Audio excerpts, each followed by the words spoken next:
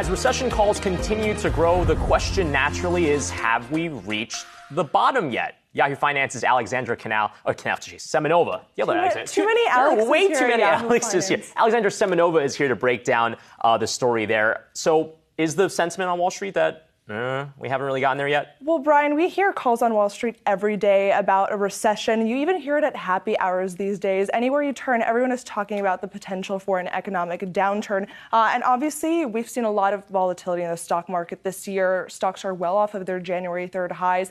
But despite this uh, negative sentiment, the stock market actually isn't pricing this scenario in quite yet.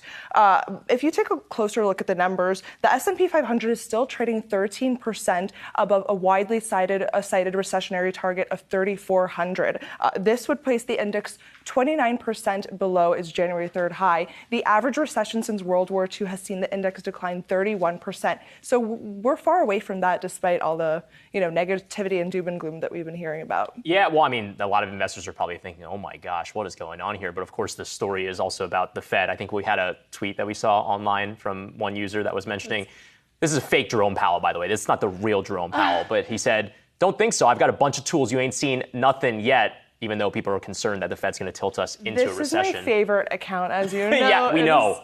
It is the best one. I think I send way too many of these on Slack. And for anyone that knows, obviously, again, that's it's a photo of him, but it's not actually him. But I mean, do you think the Fed story folds into that as well? Absolutely. I mean, obviously, uh, this is what's worrying investors: uh, quantitative tightening, uh, higher interest rates, inflation. All of these pressures are very much there. Uh, but you know, even with earnings season underway, uh, everyone is preparing for a milder earnings season. But the S&P 500 is still poised to see aggregate earnings per share of fifty-six dollars. The typical recession sees earnings per share fall by 25%, a decline that would put the figure at about $42 per share a quarter. So, you know, everything is pointing to the fact that the stock market isn't pricing this in yet. Mm, all right, a little bit of a warning there. Yahoo Finance's Alexandra Semenova.